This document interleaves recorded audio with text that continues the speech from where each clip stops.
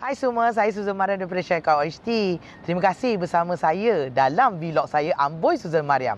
Hari ini saya nak share dengan anda semua mengenai kes cerai.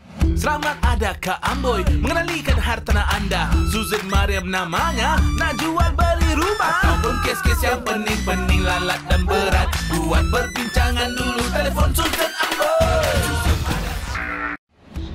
Ni saya nak ceritakan dengan anda semua kes cerai. Ialah kisah satu kakak bernama Aisyah. Kak Aisyah ni sebenarnya call saya. Ah, call saya ceritakan masalah dia. Kak Aisyah ni ada tiga anak dengan mak bapak dia sekali. Eh, ah, kirakan semua bergantung dengan dia. Ah, kes dia pula kes cerai lah. Bekas suami dia ada orang yang ketiga. Eh, Abang ni actually uh, nama dia Jamal. Abang Jamal ni actually kerja dia alhamdulillah lah gaji besar, orang dia segak, handsome orang dia eh macam orang muda. Eh pakaian dia orang muda. So Kak Aisyah ni pula tak boleh tahan dengan dia. Lepas tu dia bercerai pasal ada orang ketiga yang saya sebutkan. So apabila bercerai eh mahkamah mengatakan rumah nak kena jual. Eh anak-anak ketiga tu pergi kat dia lah Kak Aisyah ni. So dia will be the sole custody of the uh, of the uh, parents lah eh mak bapak dia pun dengan Kak Aisyah. Tetapi kes ni ada agak rumit sikit. Pasal rumah ada tiga nama.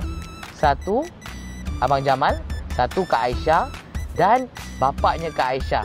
Eh bapaknya Kak Aisyah nama dia Abang Mael. Saya pun bagi semua abang. Pak cik pun saya bagi abang. So Abang Jamal, Kak Aisyah dengan Abang Mael. So perintah mahkamah mengatakan kena jual rumah dan bagikan eh bagikan kepada isteri dia 80%, bapa dia 10% dan suami dia 10%. Of course, suami dia tak happy lah dengan perintah mahkamah tu. Eh? So, apabila uh, uh, Kak Aisyah jumpa saya dan berbual dengan saya untuk menjual rumahnya, so saya terpaksa eh, berbual dengan Kak Aisyah, berbual dengan bapak dia, semua dah agree eh, menggunakan khidmat saya. Apabila saya telefon Abang Jamal, oh dia terpegit tolong awak ejen, saya ada banyak kawan dan sebagainya lah. Dan macam-macam lah. Dia punya orang very ego. So saya cakap dengan dia bang saya sebagai ejen nak ingin menjual rumah saja bukan nak bergaduh. Oh dia dah ceritakan kisah bekas isteri dia dan sebagainya. So saya pun tak nak cakap banyak lah. Saya pun dengarkan aja terpaksa. Kadang-kadang kita terpaksa sebagai ejen ni terpaksa dengar masalah dia orang. Dengar lepas tu buat appointment jumpalah Abang Jamal ni. So Abang Jamal kata saya akan sign apa-apa dokumen yang awak nak. Lagipun saya tak tinggal tu rumah. Eh, saya akan sign. Tetapi saya tak nak bayar muta'ah Eda isteri dia. So saya tengok order of court. Saya tengok, saya semak balik. Eh, dekat page satu tu order of court ada mengatakan dia kena bayar muta'ah 40 lebih ribu dengan Kak Aisyah. Dan Eda dia 1000 dolar. So dia cakap, awak kira lah sekarang awak kira. Dia marah-marah saya. So saya buat pengiraan. Pengiraan yang teliti.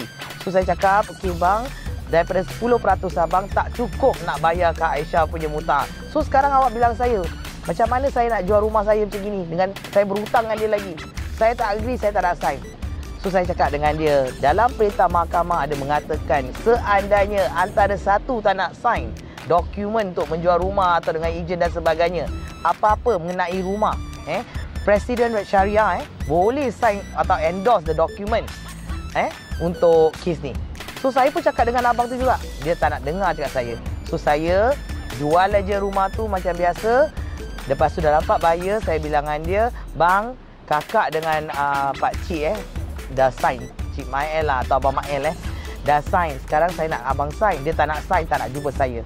So, apa yang saya buat?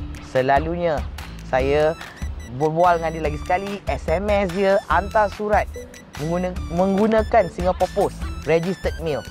Dalam tujuh hari saya tunggu lagi. Lepas tu saya message dia lagi. Tunggu lagi tujuh hari. Barulah bawa semua dokumen submit dekat Syariah Court. Tapi kawan-kawan, Syariah Court tu bukan hari ni dah cakap gitu terus dia endorse. Tak, dia tak endorse. So, dia orang akan semakkan balik, buat appointment dengan uh, bekas suami dia. Lepas tu, bekas suami dia datang lagi ke Syariah Court. Nanti Syariah punya registrar lah akan tanya kenapa tak nak sign dan sebagainya. So, kalau dia berdegil juga tak nak sign, Ah, then register akan sign. Tapi kes saya ni dia degil. Dia tetap tak nak sign. Okey. Lepas tu buat appointment lagi register tapi satu masalah je. Buyer pula ni tak boleh tunggu. Ha, masalahnya buyer tak boleh tunggu. So saya pujuk buyer dengan ejen dia, tunggulah lagi sebulan, tunggu lagi sebulan. Lagipun buyer ni alhamdulillah dia ada tempat tinggal. Ha, so kalau kita dapat kes macam gini, it's better to get a direct buyer. Direct buyer bangsa dia beli saja. Kalau bangsa kes-kes orang jual beli, I, I think better not lah, kan?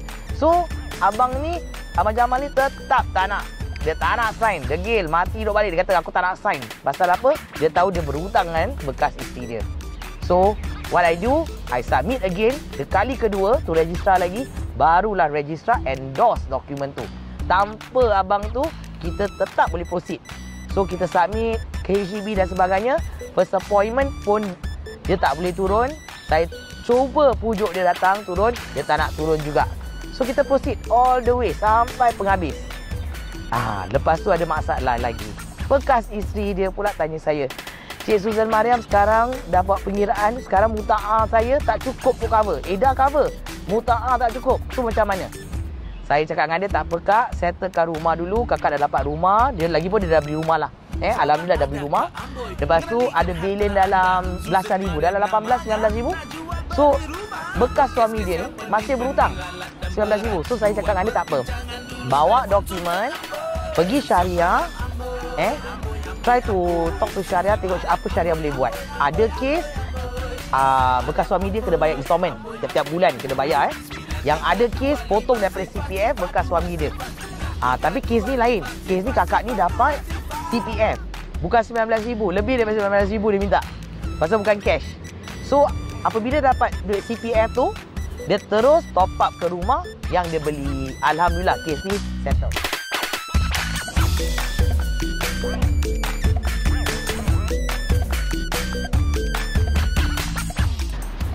So daripada cerita yang tadi saya ceritakan kawan-kawan di luar sana sebelum kita uh, nak cerai kita fikir dahulu. Fikir anak-anak fikir mak bapak yang tinggal dengan kita. Uh, kenapa kita nak cerai? Is it a must to cerai? Actually benda ni semua you nak kena fikir betul-betul. Satu pasal lepas dah cerai rumah tetap kena jual. Eh? So apabila rumah nak kena jual dah jual tu ada tempat tinggal tak? Boleh dapat loan tak? Ha, ni semua nak kena fikirkan. So dokumen yang perlukan selalunya apabila eh nak menjual rumah ialah order of court dengan surat cerai. Apabila dapat surat cerai dengan order of court barulah boleh jual rumah. So sebelum cerai fikir dahulu get a proper advice daripada ejen rumah ataupun lawyer yang anda engage lah.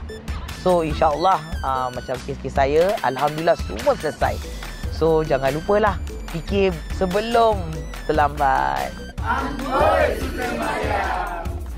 Okeylah kawan-kawan, itu saja untuk minggu ini. Bye.